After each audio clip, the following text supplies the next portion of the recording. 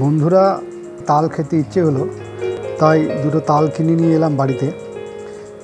বাড়িতে নিয়ে আসার পরেই তাল ঝাঁঝরিতে ঘষে তালের রস বার করা হলো।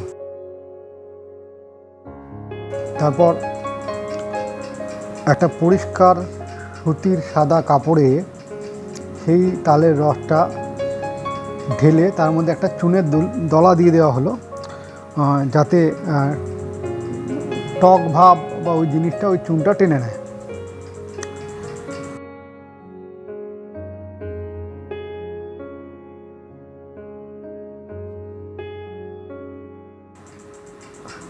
সুন্দর করে ওই সাদা কাপড়টি মুড়িয়ে তালের রসের মধ্যে যে জলটা ছিল সেই জলটা ঝরানোর জন্য একটা জায়গায় টাঙিয়ে দেওয়া হলো।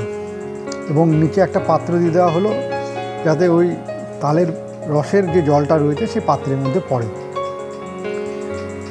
কিছুক্ষণ পরে জল ঝরে যাওয়ার পরে সেই সাদা কাপড়টা থেকে যে তালটা বেরোলো, সেটা সুন্দর করে চামচ দিয়ে চেঁচে একটি পাত্রে রাখা হলো।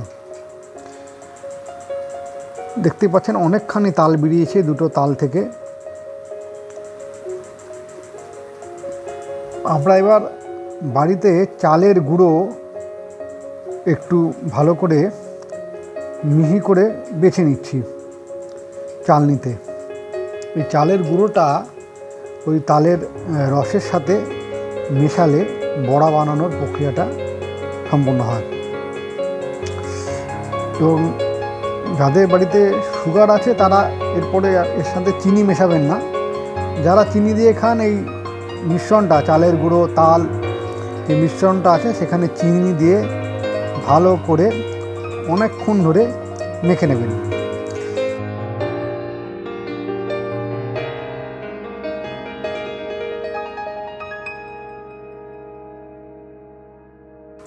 মেখে নেওয়ার পরে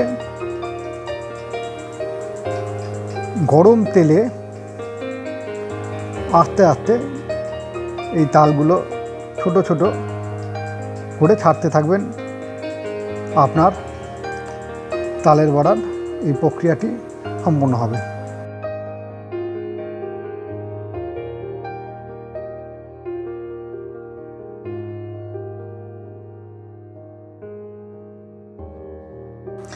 ভিডিওটি কেমন লাগল বন্ধুরা? তা অবশ্যই জানাবেন। আমার চ্যানেলটি সাবস্ক্রাইব করবেন, লাইক, শেয়ার ও কমেন্ট করবেন। যারা ফেসবুকে দেখবেন, তারা আমার ফেসবুক পেজটি ফলো করে দেবেন।